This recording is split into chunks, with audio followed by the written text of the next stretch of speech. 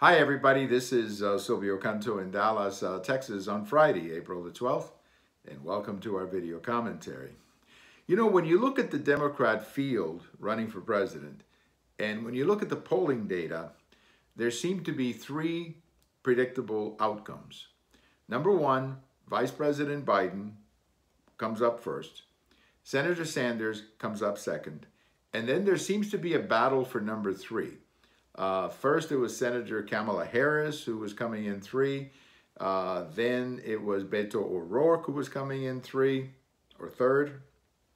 And now, in a recent poll for New Hampshire, uh, coming in third place is the man they call Mayor Pete out of Indiana. This is the, the mayor of Fort Bend, Indiana. Uh, a fellow who's become very popular with the base of the Democrat Party. He's very young, he's only 37, but he's become very popular uh, with the base. He's articulate, he's outspoken, uh, he comes across very well, he's very telegenic. He's also openly homosexual, and I'm sure that captures uh, a lot of interest in, in, in a Democrat Party really caught up in identity identity politics. The question is what's happening with some of the others, like Senator Warren, who I think was the first one to get in, with Senator Harris, and even with Beto O'Rourke.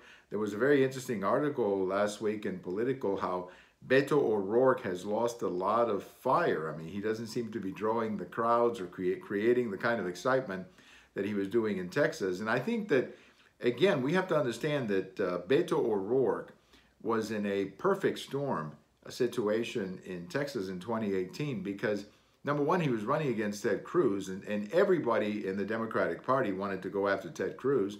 So a lot of money went Beto's direction to defeat uh, Senator Cruz. I mean, they spent something like eight million, eighty million dollars, you know, raising, enrolling people, registering people. I mean, they did a very good job, but they couldn't quite get uh, Senator Cruz defeated. It's a little bit different for Beto when he's running in a uh, in a national campaign when the issues and the other candidates are a little bit different. I still think Senator Kamala Harris of California has a big advantage because because of California, and that's an early primary. So if she can come out of California with a win or at least a lot of delegates, that will keep her uh, competitive for a while. But uh, my money is still on, on Senator Sanders. I just think Senator Sanders is probably the one who, who's going to end up getting the nomination. But again, anything could happen. Anything could happen. And I certainly would not be surprised if the nominee of the Democrat Party in 2020 is not someone running for president right now. Uh, I, I think that possibility is totally wide open. So we'll keep an eye on the Democrats. They're certainly keeping it very interesting, uh, to say the least. Thank you for watching. We have all of these on YouTube, on Twitter, and on my blog. And if today is your birthday, Happy birthday. Bye-bye, everybody.